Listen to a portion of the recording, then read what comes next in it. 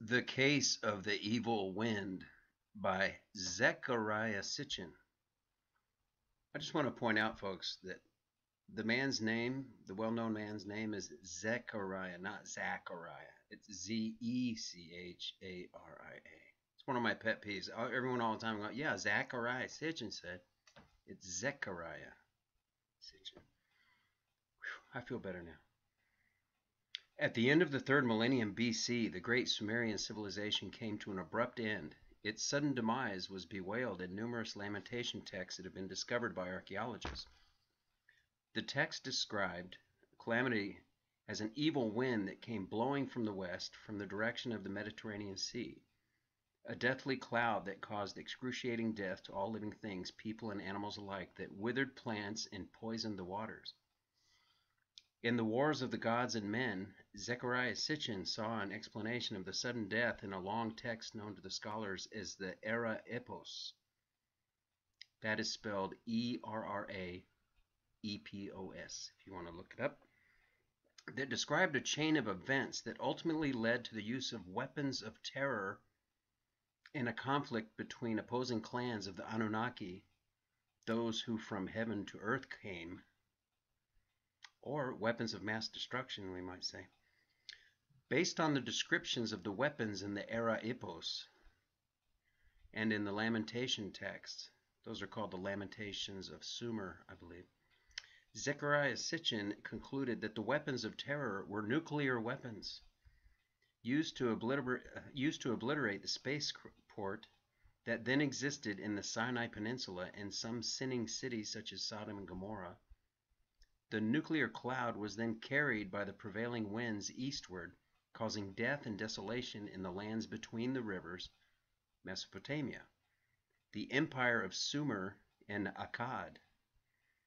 Besides claiming that nuclear weapons were first used on Earth, not in the 1940s in Hiroshima, but thousands of years earlier in the Near East, Zecharia also pinpointed the date, 2024 BC. Scientific corroboration now comes along that the civilization that sprang out in Sumer circa 3800 BC, reaching unparalleled heights under the last dynasty, the third dynasty of Ur, Ur, Abraham's city, had to come to an abrupt end near the end of the third millennium BC, has been an accepted and well documented fact. That the end was abrupt was also certain. What scholars deemed as still lacking was an explanation how and what caused it. Beginning in 1999, archaeologists and scholars specializing in the Near East saw mounting evidence that the demise of Sumer and Akkad, Sumer's northern extension, coincided with an abrupt climate change. An initial study by Harvey Weiss and Timothy C. Weiskel of Harvard University was reinforced by subsequent study in geology in April 2000 by H. M. Cullen et al. from the Lamont Doherty Earth Observatory of Columbia University and the University of Utah and the Lawrence Livermore National Laboratory and the Institute for Geowissenschaften, Germany. Based on studies of unexplained aridity and wind-blown dust storms and radiocarbon datings, they reported that their readings indicated a date of 4,025 years ago, plus or minus a margin of 125 years. A precise date has been corroborated. Those and similar climate change studies relating the climate conditions to the rise and fall of civilizations in the old as well as the new worlds were summed up in a major study published in the prestigious Journal of Science in its 27th of April 2001 issue. Authored by Peter B. deMenocal of the Lamont Doherty Earth Observatory of Columbia University, the study paid particular attention to sedimentary remains of tephra, T-E-P-H-R-A.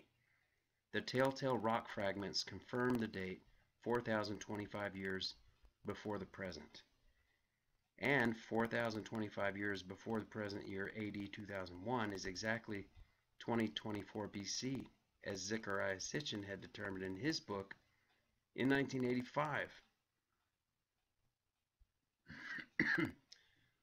These burnt through pieces of black and gravel like rock mostly fall near their volcanic source, but ash like particles can be carried by prevailing winds over many miles and can stay aloft for more than a year.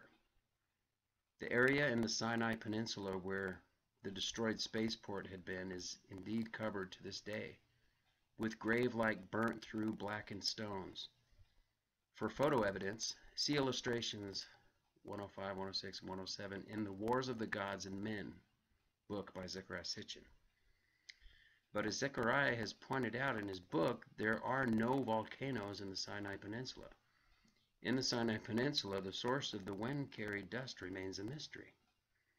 And the only explanation for these broken and blackened stones in the Sinai and the wind-blown desolation in Mesopotamia can be the tale of the Erra Epos, reflected in the biblical tale of the upheaval of Sodom and Gomorrah.